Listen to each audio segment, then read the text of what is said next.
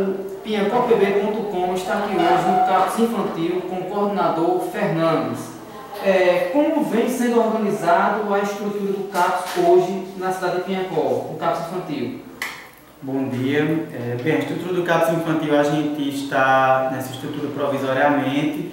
Nós temos uma estrutura fixa que é nesta mesma rua aqui, que está sendo reformada para modificações em questão de acessibilidade, melhores divisão de, é, da, do, em, em, termos de repartimento da instituição, para melhor acolher os usuários familiares. Né? É, como vocês encontraram o CAPS infantil? Nós encontramos o CAPS infantil assim com uma prática muito ambulatorial.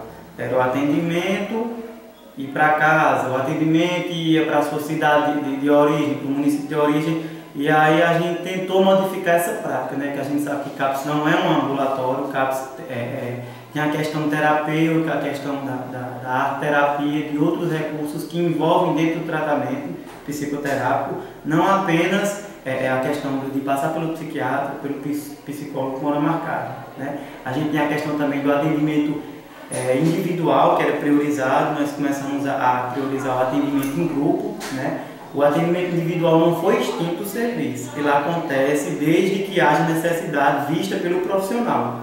Acontece o atendimento individual. Só que a prioridade é o atendimento em grupo, porque se nós trabalhamos com reinserção psicossocial, como é que a gente reinsere uma pessoa trabalhando individual? A gente tem que trabalhar o grupo, para que ela saia daqui e ela consiga viver em sociedade.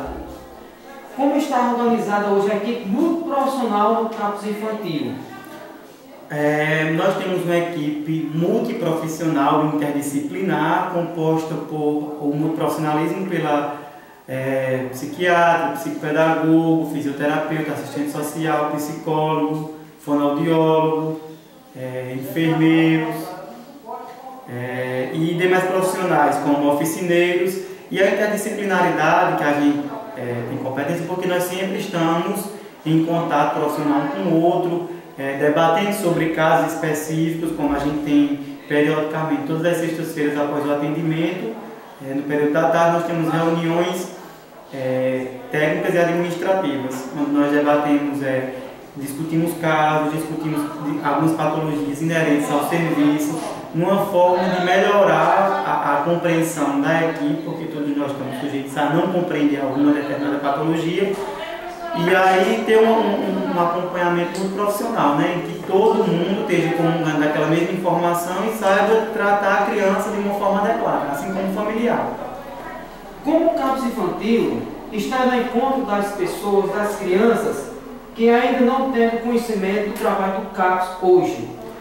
É, nós temos feito visitas domiciliares aos usuários que são daqui, temos entrado em contato com os coordenadores de atenção básica de todos os municípios da ao qual o Pimpó é referência, e temos realizado projetos, por exemplo, realizamos um projeto junto com a educação do município de Pincó, que era para trabalhar a questão da, da, da, conscientização, de como o professor, que tem um contato é, constante com a criança, de como ele diagnosticar um problema que seja inerente ao CAPS infantil. Né? Então a gente fez esse projeto, nós ainda estamos em execução, começamos a entrar nesse recesso de férias agora das escolas municipais, estamos esperando retornar em agosto para dar continuidade ao projeto.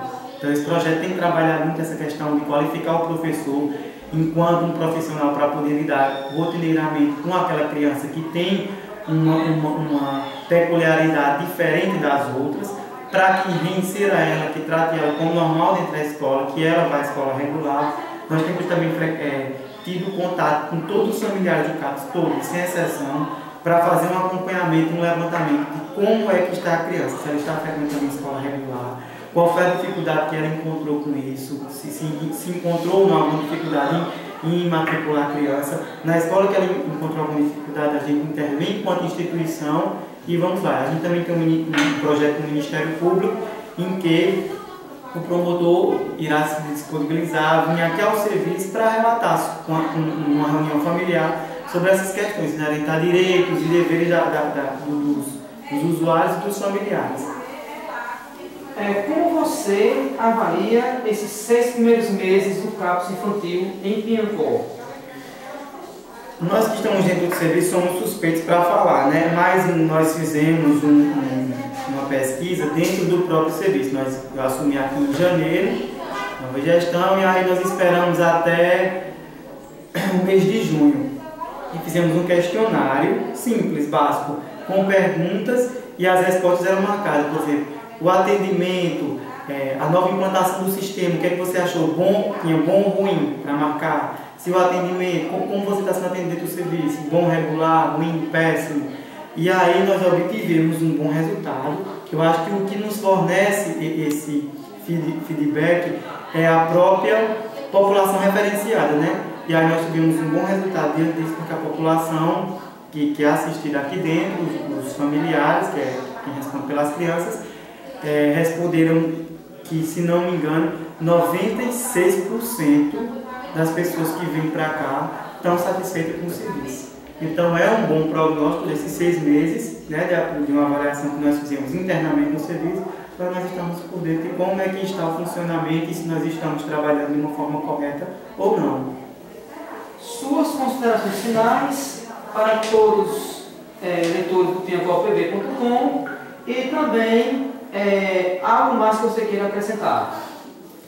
Bem, assim, no mais, é, nós queremos agradecer à população em geral, ao prefeito, pela grande disponibilidade que tem dado a nós, pela, pela questão da acessibilidade em relação à autonomia que nós temos dentro do serviço para trabalhar, desculpa, dentro, embasado em portarias, né? Porque nós não trabalhamos aqui aleatoriamente, de forma de, de, por achismo. Nós trabalhamos com portarias do Ministério da Saúde, implantamos dentro do serviço rotinas que são inerentes ao serviço, que são eficazes e que nós já estamos colhendo fruto disso, que é a melhora no tratamento da maioria das crianças que estão aqui. Então, é, temos que agradecer, enquanto instituição, enquanto equipe, a população pelo entendimento da mudança no serviço, que tem sido muito compreensível, que tem visto que é um, um, um, uma mudança para melhora deles, não é uma mudança porque nós queremos modificar ou aquilo isso, não. É uma mudança para ter uma efetividade no tratamento dos filhos deles, que eu acredito que é isso que eles procuram aqui, uma melhora no, no tratamento. Então, e em termos de considerações finais, para que as pessoas que não tenham conhecimento do CAPS infantil que procurem ter, nós temos um Facebook, nós temos e-mail, nós divulgamos nossas atividades, nós temos diversos projetos que nós executamos dentro, temos uma triagem, como é bem feito, então que nos procurem, que procurem informações, nós temos, vamos implantar futuramente é, alguns programas é, mensais em rádio falando sobre, sobre sobre saúde mental, sobre CAPS infantil, CAPS AD, CAPS, CAPS 2, que é um projeto da, da saúde mental do município. Então, é, no mais é isso, é só agradecimento a, a, ao secretário de saúde, ao prefeito pela disponibilidade que nos dão e pela confiança que nos fornecem, a população em geral pela aceitabilidade e pelo é, respeito que tem a instituição e a nós enquanto profissionais. Bom, PB.com, subespécie, daqui do CAPS infantil